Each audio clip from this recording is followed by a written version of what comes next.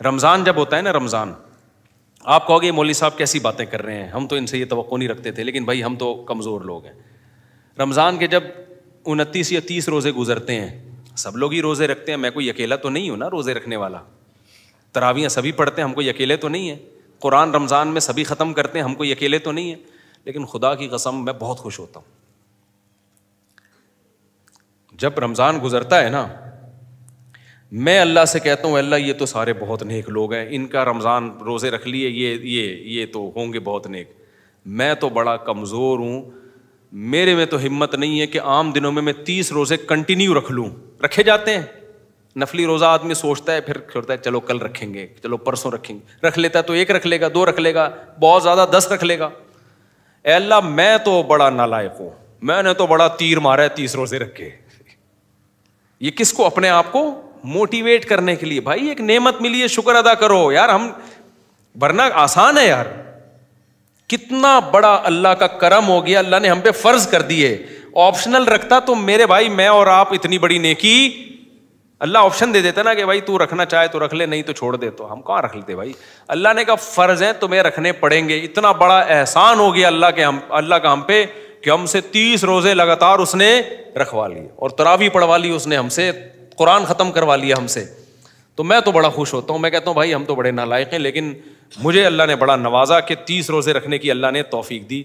इसी वजह से जब चाँद गुजरता है तो लोग रो रहे होते हैं, हाय हाय, रमज़ान जा रहा है, हम खुश होते हैं कि यार, अल्लाह मियाँ ने तीस रोज़े रखवा के अब हमें छुट्टी दे दी, अब खाओ, पियो। तो जब अल्लाह छुट्टी दे देगा, हम छुट्टी पे खुश होंगे। जब रोज़ा कहेगा तो हम क्या कर रखेंगे क्या हो गया, भाईजान?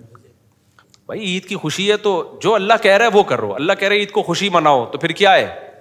फिर खुशी है।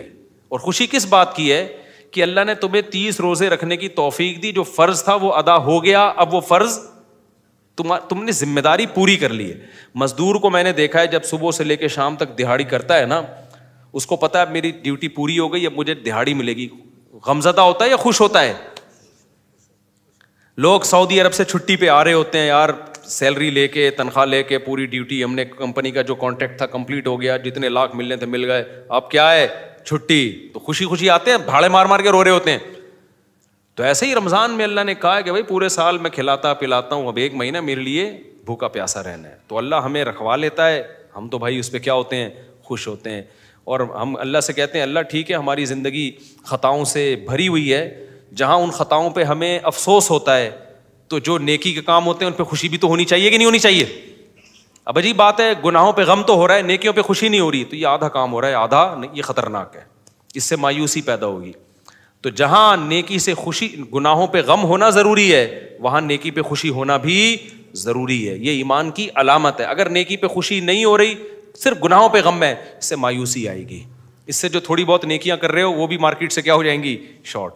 और ये भी गलत है कि नेकी पे खुशी हो, गुनाह पे गम ना हो। ये भी गलत है। बाद लोगों को नेकी पे खुशी होती है, गुनाह पे गम नहीं होता, ये भी गलत है।